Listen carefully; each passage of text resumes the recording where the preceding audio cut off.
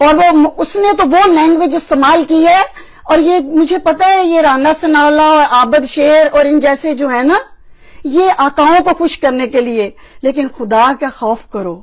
جن آقاؤں کو تم خوش کرتے ہو، ان کی تو اپنی بیٹی ساج بن کے برانڈیڈ خوبصورت میک اپ کے ساتھ مارکیٹ میں آ چکی ہے۔ اپنے بہت سارے سکینڈلز کے ساتھ۔ یہ اس کا اینڈ کیا ہوگا؟ عورتوں کو بخش دو۔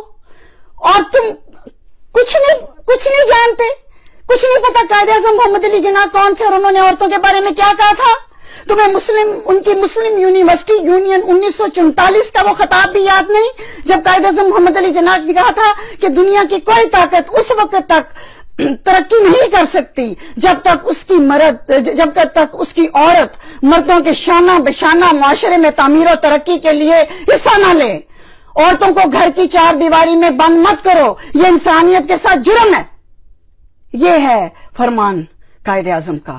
اب عورتیں چاہے ناچتی ہوئی نکلیں یا ماتم کرتی ہوئی نکلیں یا جیسے بھی نکلیں، تم لوگوں کا کوئی حق نہیں ہے کہ کسی بھی سیاسی پارٹی یا مذہبی پارٹی یا کوئی بھی عورت بھلے وہ کوٹھے سے لے کے ڈیفینس کی کوٹھی میں تمہارے اپنے گھروں میں بیٹھی ہو۔